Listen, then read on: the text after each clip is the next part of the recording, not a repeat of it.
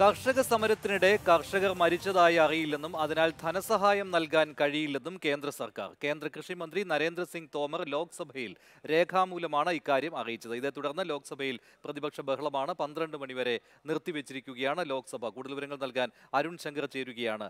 അരുൺ ഏത് വിഷയത്തിലായിരുന്നു ഇങ്ങനെ ഒരു ചോദ്യം ഉയർന്നു വന്നത്? അപ്പോൾ എന്തായിരുന്നു കേന്ദ്രത്തിന്റെ മറുപടി?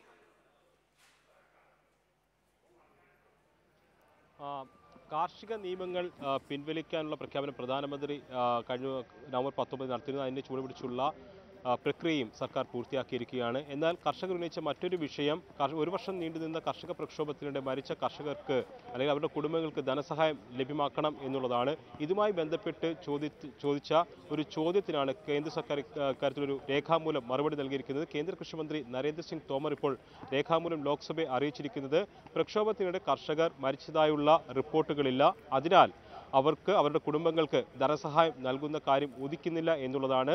ഈ ഒരു മറുപടിയെ നാക്കുപിഴയായിട്ട് നമുക്ക് കാണാൻ കഴിയില്ല. കാരണം രേഖാമൂലം എഴുതി നൽകിയ മറുപടിയാണ്. അതുകൊണ്ട് സർക്കാരിന്റെ നിലപാട് ഇതിലൂടെ വ്യക്തമാണ്.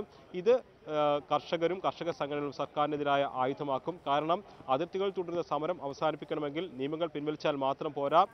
താങ്ങുവില നിയമപരമായി ഉറപ്പാക്കണം. അതോടൊപ്പം തന്നെ പ്രക്ഷോഭത്തിനിടെ മരിച്ച കർഷകരുടെ കുടുംബങ്ങൾക്ക് ധനസഹായം ലഭ്യമാക്കണം എന്നീ ആവശ്യങ്ങളും അവർ ഉന്നയിച്ചിരുന്നു. എന്നാൽ ആ ഒരു ആവശ്യം അതിൽ ഒരാവശ്യം ഇപ്പോൾ കേന്ദ്ര സർക്കാർ തള്ളിക്കളഞ്ഞിരിക്കുകയാണ്. അരുൺ ഞാൻ ഒന്ന് ഇടപെടുകയാണ്. അരുൺ ഇപ്പോൾ കർഷക സമരത്തിന്റെ നേതൃനിരയിലുണ്ടായിരുന്ന പി കൃഷ്ണപ്രസാദ് ടെലിഫോൺ ലൈനിൽ ചേരുകയാണ്. ശ്രീ പി കൃഷ്ണപ്രസാദ് കാർഷിക നിയമങ്ങൾ പിൻവലിച്ചാൽ മാത്രം പോരാ. നിങ്ങൾ മറ്റു ചില ആവശ്യങ്ങൾ കൂടി ഉന്നയിച്ചിരുന്നു. അതിൽ പ്രധാനപ്പെട്ട ആവശ്യമായിരുന്നു ഈ പ്രക്ഷോഭത്തിനിടെ മരിച്ച കർഷകരുടെ കുടുംബങ്ങൾക്കുള്ള ധനസഹായം.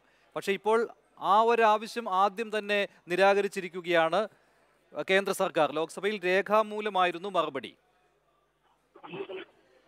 ഈ കേന്ദ്ര സർക്കാരിന്റെ ഈ ഒരു മറുപടി തീർച്ചയായിട്ടും മാധ്യമങ്ങളിലും പൊതുസമൂഹത്തിലും വലിയ ചർച്ചാ വിഷയമാവുകയാണ് യാതൊരു മനുഷ്യത്വവും ഇല്ലാത്ത ഒരു ഗവൺമെന്റിന് മാത്രമേ ഇങ്ങനെ മറുപടി പറയാൻ വേണ്ടി കഴിയുകയുള്ളൂ എന്നാണ് ഇതിനോട് വന്ന ആദ്യ പ്രതികരണം.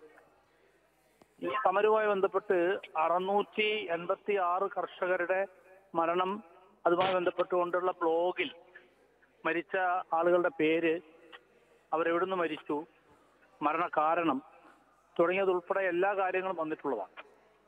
ഈ ലോറി ട്രക്ക് ഇടിച്ചു കയറി മൂന്ന് സ്ത്രീകൾ ആയിട്ടുള്ള പിന്നെ പ്രക്ഷോഭകാരികൾ പഞ്ചാബിൽ നിന്നുള്ള ബി കെ യു ഗ്രഹാൻ എന്ന് പറയുന്ന സംഘടനയുമായി ബന്ധപ്പെട്ട് പ്രവർത്തിക്കുന്ന മൂന്ന് സ്ത്രീകളായ പ്രവർത്തകർ. അവരുടെ മരണം വളരെ ദാരുണമാണ്. ഇന്റർനാഷണൽ ന്യൂസിൽ പോലും ലോകത്താകെ ഉള്ള പത്രങ്ങൾ അത് റിപ്പോർട്ട് ചെയ്തിരുന്നു. ലഖിംപൂർ കേരിയിൽ കർഷകർ കൊല്ലപ്പെട്ടത് പത്രക്കാരനുൾപ്പെടെ. രാജ്യവ്യാപകമായും ലോകവ്യാപകമായും ചർച്ച ഇതൊന്നും ഒരു സർക്കാരിന് അറിയില്ല എന്നാണോ പറയുന്നത്? അങ്ങനെയാണെങ്കിൽ ഒരു സർക്കാർ ഇവിടെ ഭരിക്കുന്നു എന്ന് അവകാശപ്പെടുന്നത് ശരിയാണോ? ഇവിടെ ഒരു ഭരണമുണ്ടോ എന്ന ചോദ്യം സ്വാഭാവികമായിട്ട് ഉയരുകയില്ലേ?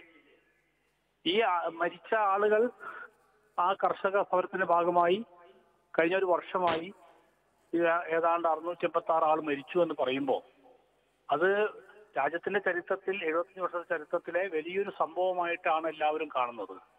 ഇത്രയും ത്യാഗം സഹിക്കാൻ വേണ്ടി കർഷകർ തയ്യാറായി. ഇത്രയും ആളുകൾ മരിച്ചിട്ട് പോലും അവർ വിട്ടുവീഴ്ചയില്ലാതെ സമരവുമായി മുന്നോട്ട് പോയി. ഈ രാജ്യത്തെ രക്ഷിക്കാൻ വേണ്ടി പോരാട്ടം നടത്തി. ഇതേ മനോഭാവമാണ് ബ്രിട്ടീഷുകാരുടെ കാലത്ത് സമരം ചെയ്ത പോരാളികളോട് എടുത്തത്. ബ്രിട്ടീഷുകാരുടെ മാനസികാവസ്ഥയും ആർ എസ് എസ് നേതൃത്വം കൊടുക്കുന്ന നരേന്ദ്രമോദിയുടെ സർക്കാരിന്റെ മാനസികാവസ്ഥയും തമ്മിൽ എന്താ വ്യത്യാസമുള്ളത്? ശരി. നന്ദി ശ്രീ പി കൃഷ്ണപ്രസാദ് പ്രതികരിച്ചതിന്. കർഷകർ കർഷക പ്രക്ഷോഭത്തിൽ മരിച്ചതായി അറിയില്ല എന്നാണ് കേന്ദ്ര സർക്കാർ രേഖാമൂലം ലോക്സഭയെ അറിയിച്ചത്.